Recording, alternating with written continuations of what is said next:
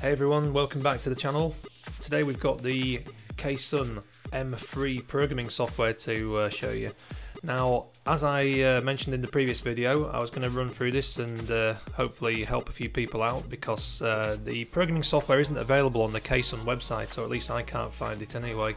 And I needed to contact the seller on AliExpress to try and get a copy of this. Anyway, luckily they responded to me and sent me a zip file with the software inside, so we got it sorted in the end. But uh, interesting enough, since I did that first video, uh, they've updated their listing on the AliExpress site and now you can buy these radios with the USB Type-C cable so I think that's pretty much an essential purchase at the same time. Now the two radios that you can see here, this is the M3 uh, with the USB-C option, is available for $47 and you can also buy the radio without as well. There's a pair of radios, the uh, KSM uh, 3s, sorry that's the 2s, there's the 3s $44, uh, but for the extra 3 or $4, you might as well get the USB-C programming cable. It makes a lot more sense really, and uh, you don't need to contact the seller separately like I had to do, so uh, good job they've updated the listing now, so well worth the extra money there if you can uh, do that at the same time as you uh, buy some of these. I noticed you can also buy the radios with a pair of uh, black and white options now, um, I, the ones I got sent through were like uh, that deep blue colour, and I thought I was buying the black last time, so don't be surprised if they turn up and it's actually blue rather than uh, black. It'd be nice to see them in the black option though, but uh, anyway, there you go. So I just thought I'd give you a little update there on that. So today we're going to do is have a little look at this programming software. Now on the M3 side of things, uh, this is what the seller sent through to me. They emailed me this uh, zip file through and if you're running Windows 10 you can just unzip this automatically using the built-in uh, decompression tool. Or in my case I prefer to use uh, 7-zip so I'm just going to extract the file so I'm going to go ahead and do that. And you'll see that uh, there we go you get X30M3 uh, with some pretty garbled looking characters and I'm assuming it's some sort of Chinese character set. So I'm going to show you, show you this because uh, I got a little bit stuck here. I tried to run the software and this is what happened straight away uh, I got unexpected error, please check file access permissions, but it, actually it's nothing much to worry about, it's basically just a Chinese character set. So we're going to go ahead and rename this file uh, back to just something like uh, M3. Doesn't really matter what you call it, just to get this going and everything. So now you should find that the software does run. Now this is also where I had a problem before. Uh, sometimes, depending if you've got antivirus software or anti-malware software, these kind of things are blocked. So what we're going to do is we're going to run the m3.exe, see if it works first time. And as you can see there, it just didn't do anything at all. Uh, compatibility settings have been applied, so maybe a lot of these uh, programs are made from very old versions of uh, Windows software, so they don't work with like Windows 8, Windows 10, anything like that. So it's applied some compatibility settings. Let's see if we can run the program now. You may find that uh, this is what happens. Uh, so we're going to say yeah, go ahead and we're going to install the software. Just going to use the default location to do that.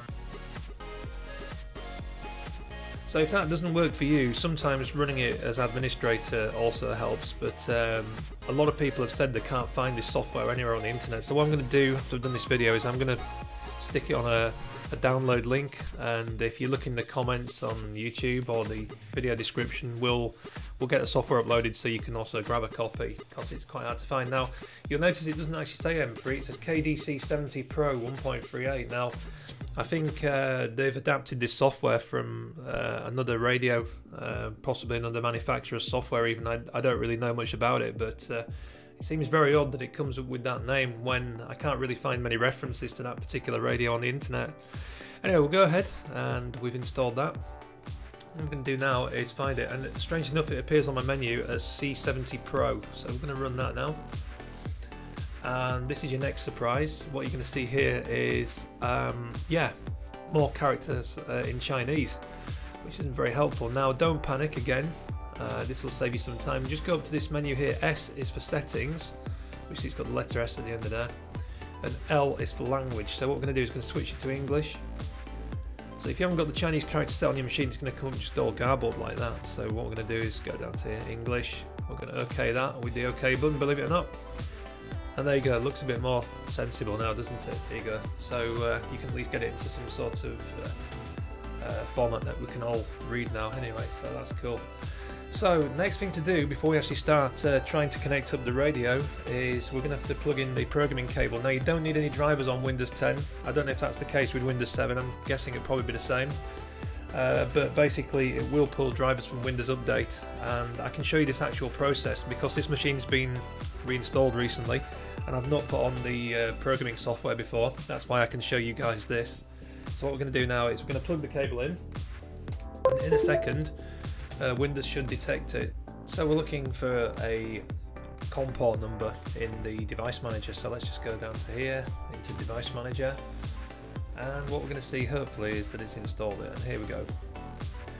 And as you can see they're prolific USB to serial COM port 3 now those drivers were automatically installed by Windows Update. I had to pause the video a minute ago because it didn't register the first time I plugged the cable in so I just disconnected the cable from the USB port connected it back up and then everything seemed to work okay so uh, yeah, if it doesn't work for you first time, just try it again second time round and it will probably install the driver okay. So you don't need to go and download any drivers just make sure you're connected to the internet and uh, Windows Update will pull the driver for the prolific USB. So COM port 3 is what we're looking for. So we can now close that down. We're going to go to settings and then we're going to go to communication port and we're going to choose COM3. Now you might have more of these COM ports available on your machine depending on what you've got plugged in. If you've got different programming leads you may already find that uh, COM3 is already in use. So um, yeah, we're going to select that anyway and OK that and we're going to try reading the data from the radio. So there's several ways you can do it. You can just hit on the uh, icon up here for reading and we can read from the radio. So make sure the radio is powered up, the USB ports uh, connected and the uh, cables inserted into the radio. Nice, click OK. And so uh, this is another thing that happened to me when I first tried this, and um, yeah, the read password is wrong. So I had to get back in touch with the seller because these radios are actually password protected uh, from the factory for some crazy reason. So that's another weird thing that goes on with them. But anyway, what we're going to do is we're going to save you all the hassle, and I'm going to let you know that the password uh, for programming these radios. Just close that down a minute. The password we need is 753951. Now, why it's that password, I don't know. That's the one that the seller gave me. They gave me two wrong passwords initially, then they gave me that one. So, presumably, all the radios from the factory are set with the same password. So, if yours doesn't work with this, then you're going to have to get in touch with the seller and ask why they set some kind of password for programming. I don't know, but uh, 753951 is the password we need in this one. We're going to hit the read and we're going to say OK. And it looks like we've got success. And the radio is going to beep at the end after it's transferred data. There you go. So it's all done. So now at this point, don't click OK again because it'll just keep on reading the same data. So we can just close that down, close it with the X. And you can see now, uh, here's some of the data that I've put in. Uh, I programmed up the PMR 446 channels in the EU. So you've got 1 to 16 there. Uh, you can program CTCSS and DCS so I've been asked if these radios are suitable for use on the 77's amateur radio band and do they support uh, split frequency transmit and the answer is yes they do actually. Uh, as you can see from the software here you can program an RX frequency and a TX frequency so I'm just going to show you briefly how this actually works, dead easy. So we're going to take a theoretical repeater on the UK channel uh, RU66 uh, using a CTCSS tone of 88.5 so we're simply going to program into the RX there. We're going to put the repeater's output frequency. So in this case, 430.825. And you'll see that the TX frequency is also changed to the same value there, but we need to modify that uh, to the repeater's input, which is 438.425 in this case. And we're going to set the CTCSS as 88.5 Hertz and you'll notice that when I move off this box here it automatically fills in the encode and decode. There is 88.5 on this side as well. And that's basically it. Once you've chosen wide or narrow modulation and low or high power but bear in mind I don't think the low and high power toggle seems to work uh, with this particular variant of the radio's firmware. So you're probably going to be stuck in high power anyway and I wouldn't bother changing any of the settings really. That should just work straight off then once you've made all the changes you need to your file, uh, we're just going to write it back to the radio. So we're just going to hit the write button and OK that. And that's basically it. That is all there is to programming the repeater up. Now bear in mind you've only got 16 channels, so you're not going to fill in too much. But if it's just a few local repeaters that you want to hit, then when you're out and about. Nice little radio in your pocket and everything. That should do the trick. And there you go, that's the confirmation beep that the radio is finished. And then the radio reboots and comes back up there.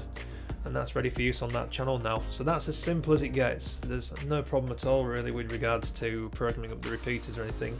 It does support DCS as well, if that's what you need. So they could be used for some PMR applications too. Uh, the only other thing I noticed in the software, just before I finish this uh, little uh, review here, is that, that you can lock the frequency range to just 446 which would indicate that these radios are obviously marketed as a license-free variant as well. And I happen to notice while flicking through the internet that um, Retevis have brought out a version of this radio that looks identical in the blue colour, both for FRS and um, also for the PMR 446 spec in the EU. Uh, presumably they're also power limited to 0.5 watts. Would be interesting to know if they can be unlocked using this software. So if anybody out there's got one, do, do leave some comments and let us know. And likewise, if you do know of any other software that might be better than this that can control more aspects of the radio, then just uh, also drop us a, a direct message or, or leave a comment in there because I'd be really interested to see myself. Anyway, hope you've enjoyed that little look at the programming software. Like I say, it's very basic, there's not much to it. Hopefully the video's just saved you going through some of the pitfalls that I did with regards to the password and also the software not running properly when I tried to install it initially. So uh, hopefully uh, that's been of some interest to you all. We'll see you in the next video then. Take care for now. Thanks very much for watching. Bye.